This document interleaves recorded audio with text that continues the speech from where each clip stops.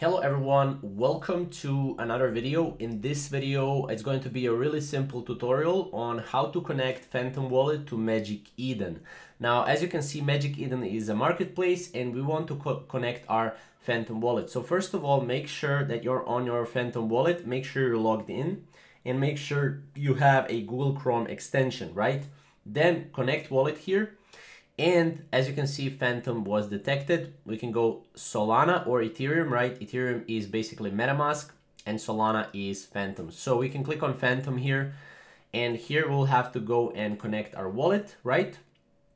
And that's pretty much it, right? So we can go here, we see our main wallet, we see our bidding wallet. We can, you know, sell some of our, um, you know, NFTs if we have, or we can go to my items right here and we can see that we have one item right here which is our nft but yeah that's basically that's it. You know it's really simple really straightforward. If you have any questions during this process of connecting your wallet to uh, you know magic eden let me know down in the comments. But yeah that's pretty much how to do it. Thank you guys for watching